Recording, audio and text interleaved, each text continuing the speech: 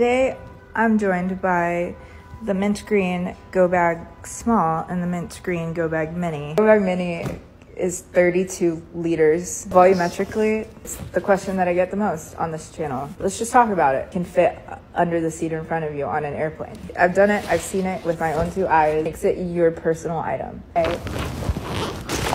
I've walked through TSA with this and I've never had an issue. If you do have an issue though, I cannot be held liable. Go bag small, 40 liters. This is your carry-on. It fits in overhead bins. Seen it myself. Let's recap. The go bag small lawfully is a carry-on. She's she's to be carried on, can fit in the overhead bin. The go bag mini is a personal item. I feel personally that this fits under the seat in front of you. I don't make the rules, okay? Safe travels, happy travels.